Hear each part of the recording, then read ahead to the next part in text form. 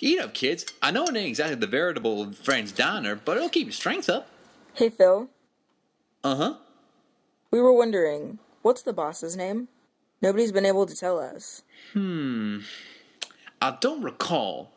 Pretty sure it starts with a G, or maybe a J. Anybody remember the owner's name? Dale, you went up to the office a while back. Remember that time? Phil, that was three years ago. I know, but do you remember what he said his name was? Uh, Mr. something. Mr. Something? Gee, that's real helpful, Dale. Come on now. It's not his fault he doesn't remember. Shoot, I barely even know what the guy looks like. Wait, you mean you never talked to your boss? Nope. Hasn't visited the dormitory in six years or so. He lives way over on the other side of the mill. We see the foreman all the time, but never the owner.